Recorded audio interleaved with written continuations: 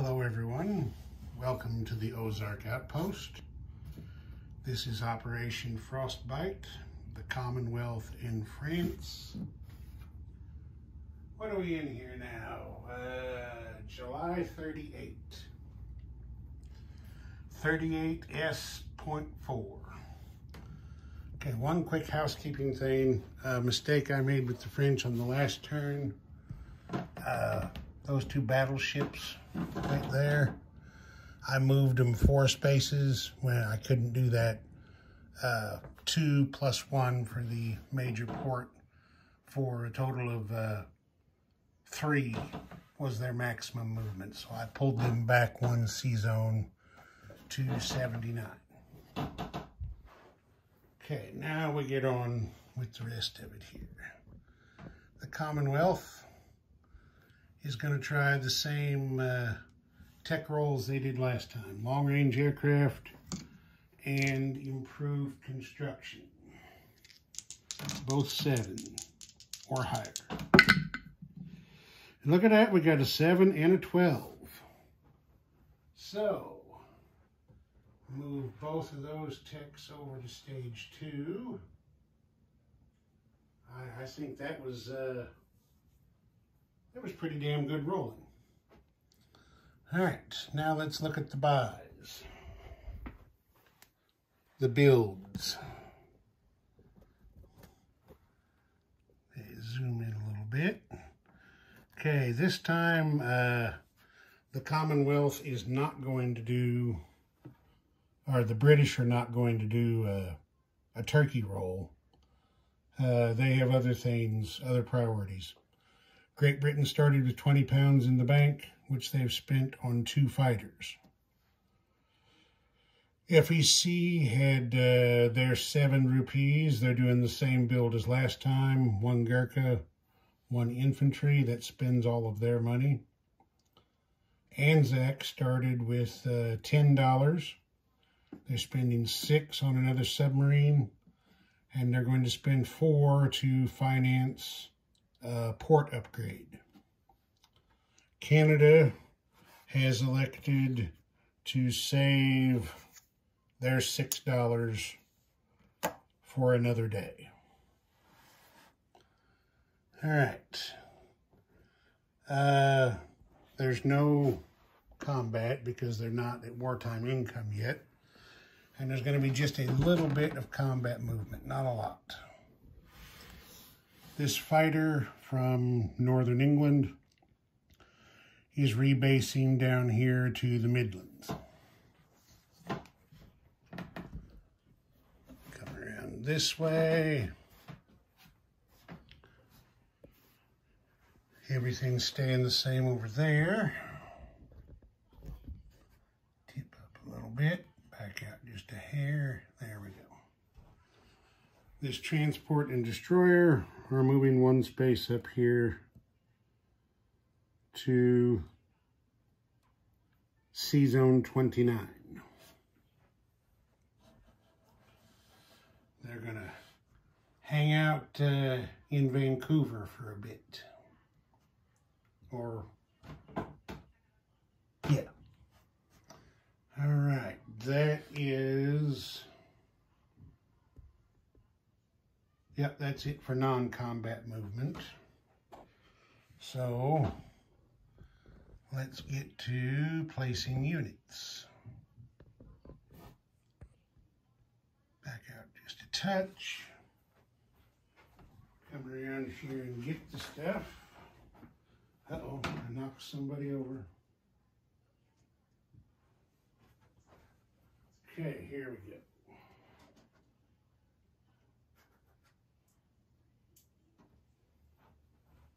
Get everybody for this part of the world down under. Okay, the Anzac submarine goes here in Sea Zone 146. The, uh, yeah, we can see it. Out here at the Solomon Islands, Anzac has spent four, as I said, to upgrade this uh, minor port to a major. Then over here in uh, FEC, I don't think there's any big surprise here. The Gurkha, once again, will go to Burma. The infantry this time is going to the minor factory in Calcutta. And that will do it for there. Come over here. Uh-oh, I forgot a non-combat. Look at that. Trying to screw things up. We can fix that real quick. This artillery uh, from Ottawa is moving one space out here to the Maritimes. Fixes that. We turn over this way. And the two fighters oh, just because there's more space available, are getting built there in northern England. All right. That looks like that. Let's uh, get some money over here. Get my money pulled out here. Okay, the British are still collecting uh, 15 pounds. So that's what they're going to have for next turn. Anzac is still getting their seven. So that's what will be in their bank, or FEC. I think I said Anzac by mistake. Anzac is collecting their $5. And Canada picks up two more, giving them eight in total. All right, I'll be back in a minute with France. Okay, here we are with France. Uh, they're going to try long-range aircraft once again. Seven or better. Missed with a five. All right, over here to the production chart.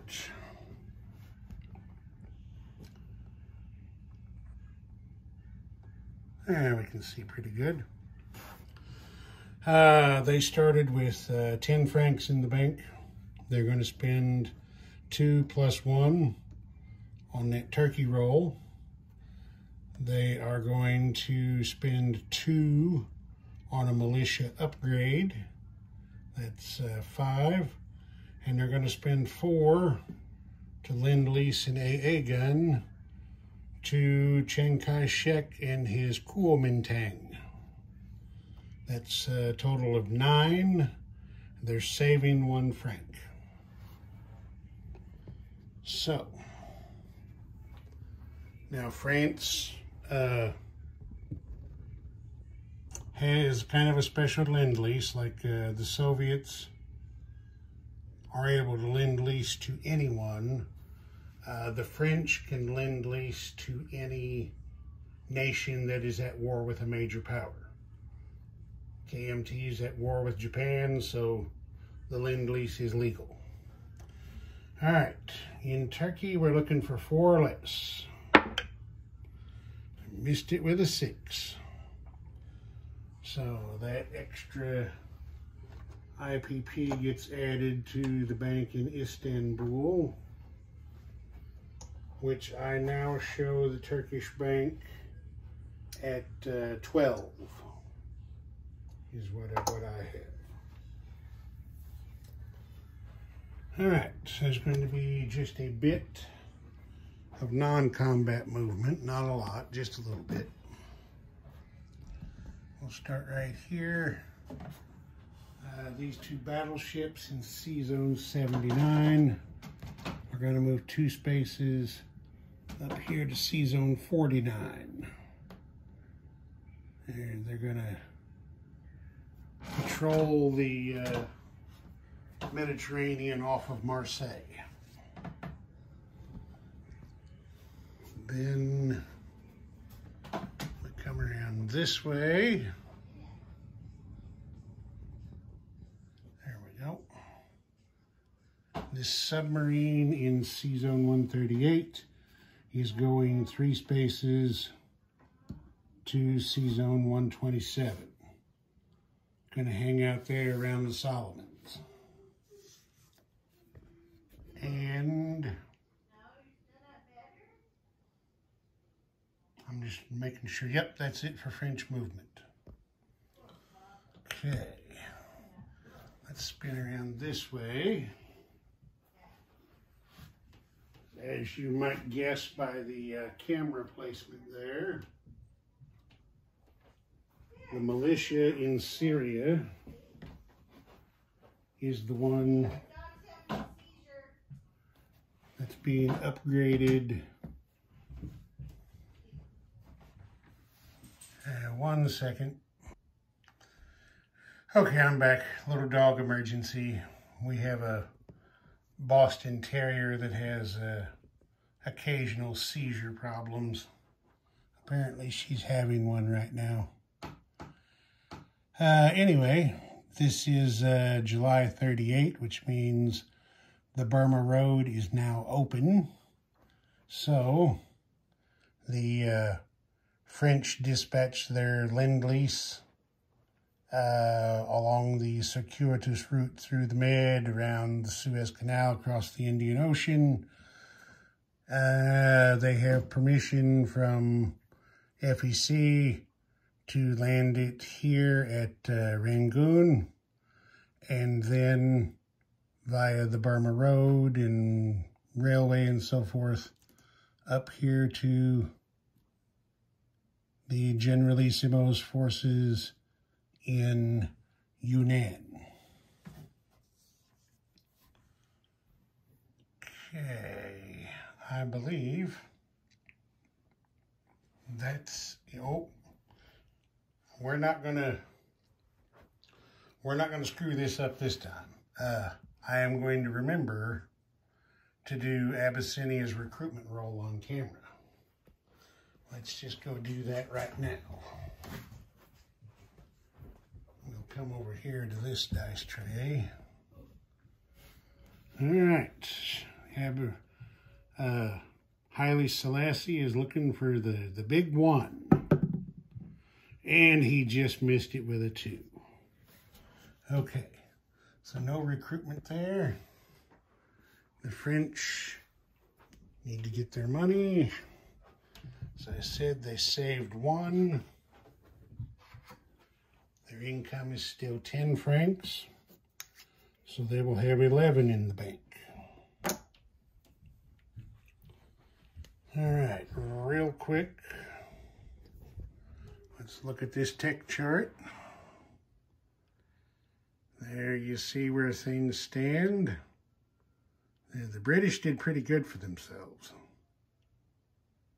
The French, I mean, they only get one roll, so I guess they're doing about as well as can be expected. Uh, the United States, for the number of dice they're rolling, is their their performance is pretty pathetic.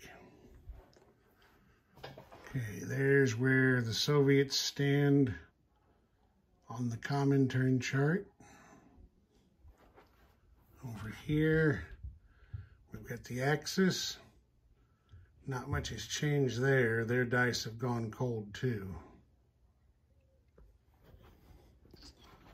There's the updated income chart. Japan is slowly pulling away from everybody. Uh, the, the Commonwealth, the United States, and France have all uh, stagnated. None of the Axis powers are uh, doing anything to trigger any income increases there. KMT, as I'm sure you all know, is down to just uh, one. Yunnan is the only territory they have left that's worth anything. All right, I think that's going to do it. Uh, Hambone HQ will be up next, filling in for Mr. Scrubbert, who uh, is away playing in the woods, getting trained by Uncle Sam. So uh, check out the Italian video. Ozark Outpost. Over and out.